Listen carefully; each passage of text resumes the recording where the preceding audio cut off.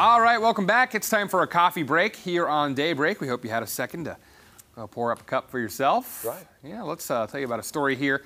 Something, thankfully, you're not going to see at Table Rock Lake or Lake of the Oh. Ozarks, Taneycomo, Okay. De Terre, any of ours around here. Somebody's thinking, challenge accepted. I hope We're not. to get it out. I hope this doesn't happen. a close encounter caught on camera for a paddleboarder in Florida. She was paddling in a long distance charity race when her husband in a nearby boat spotted a shark. Spotted that dorsal fin popping out behind her in the water there. And uh, yeah. yeah, you don't like that. She started paddling toward the boat when she saw that shark following close behind. And she said she could actually feel the shark's head bumping the bottom of the board there Oh my gosh. terrifying moment. Once she made it to the boat, the shark started circling another paddleboarder nearby, saying, If I can't get you, I'm going to go bother this person. That person also made it safely onto the boat. Both paddleboarders eventually got back on their boards and finished the race. Wow. You love to hear that they finished the race. Yeah, no kidding. Man, what a moment. You don't want that. I, No, uh, not at all. I yeah. just hearing the Jaws music in my head there. Any anytime we can reference Jaws on this show, we're going to do it. Oh, you're right. Yes, Yes. Jaws. It, Right. All right. Well, our next story here a huge collection of Disneyland items are going up for auction in California. A man who's been collecting memorabilia from Disneyland his whole life is putting it up for auction later this month. For now, the items are on display at a pop up exhibit at a mall in Burbank, California.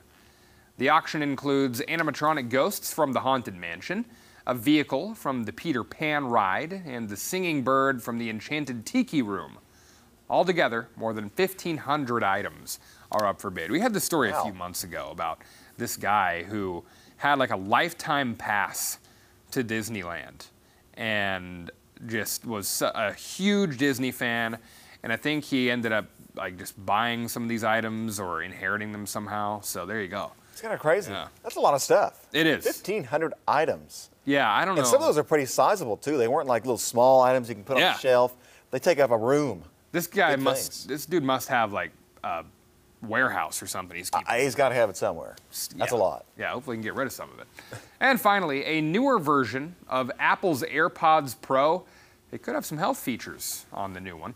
The new feature would be able to check for potential hearing issues, and it could check your body temperature through your ear canal, which could allow Apple to be able to alert whoever's wearing them if you're starting to get sick.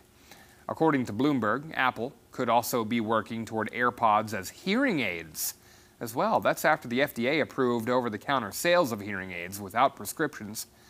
A release date for this updated version of the device has not yet been announced. So, multiple functions that could be coming with that there. So Interesting. Kind of cool to see them breaking into the medical side of things. Uh, you know? kind of strange, yeah, Mm-hmm. but you know, it's very different. It's like when I want headphones, I just want to listen to music.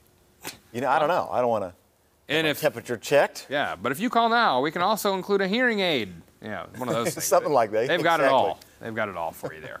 Uh, coming up next, an invasive fish species found in the Ozarks. What officials want you to do if you catch one. Not going to believe this one. And powerful storms knocked down power lines and uprooted trees across parts of Missouri over the weekend. We'll show you the damage and find out how many are still in the dark this morning. Plus, Tom's got a look at your full forecast after the break. It's going to lay out what your Monday and your 4th of July are looking like, as long as a uh, rainy rest of the week. We'll be right back.